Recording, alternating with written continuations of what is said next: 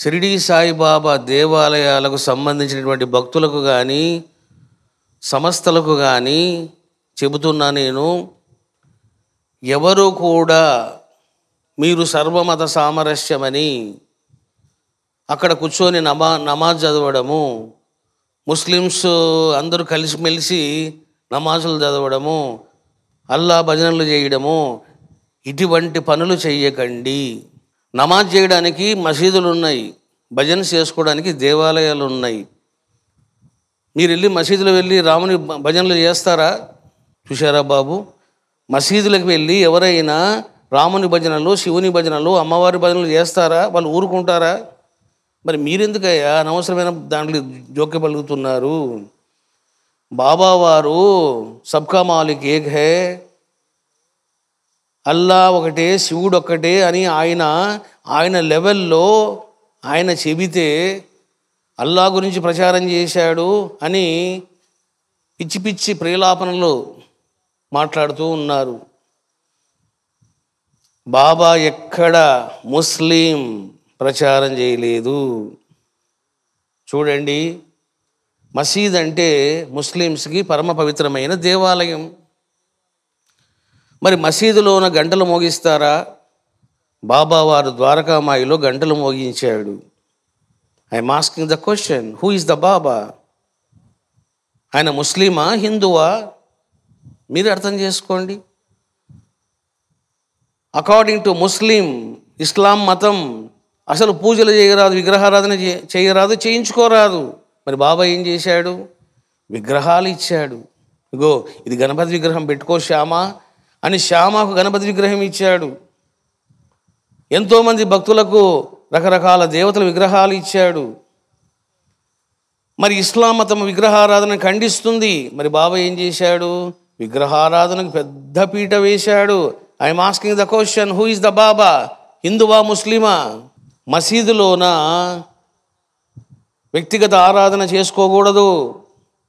మరి బాబా వ్యక్తిగత ఆరాధన చేయించుకున్నాడు తన పాదాలు కడిగించుకున్నాడు పాద తీర్థం భక్తులకు ఇచ్చాడు త్రిపుండ్రం పెట్టించుకున్నాడు పూలమాలలు వేయించుకున్నాడు శాలలు కప్పించుకున్నాడు.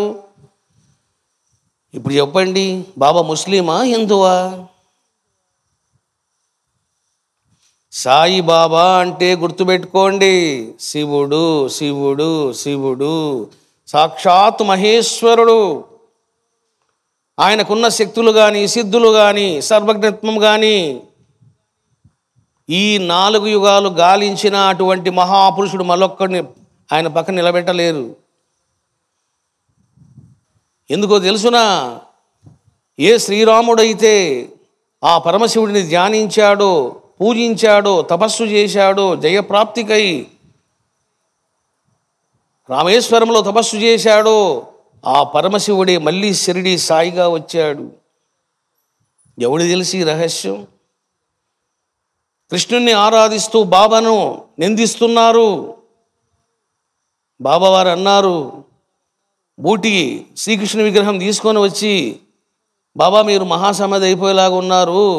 నేను శ్రీకృష్ణ ప్రతిష్టాపనం చేస్తాను అన్నప్పుడు ఏమన్నారు బాబా?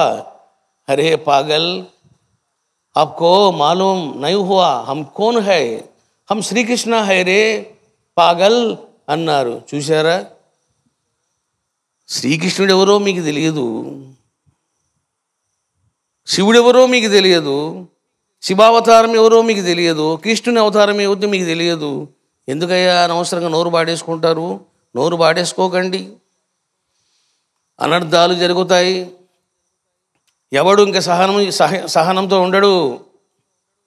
ముత్యాలమ్మ గ్రామదేవత విషయంలో జరిగినప్పుడు ఎంతమంది రియాక్ట్ అయినారు? ఎంతమంది బాధపడ్డారు? చిత్తూరులోని అభయాంజనేయ స్వామి దేవాలయం నాశనం చేస్తే ఎంతమంది ఫీల్ అయ్యారు? హైదరాబాదులోనే మరొక ఖాళీ టెంపుల్ ధ్వంసం చేస్తే ఎంతమంది బాధపడ్డారు? ఊరికనే ఉంటారా? కాబట్టి మతచాదస్తం ఎవరికి పనికిరాదు.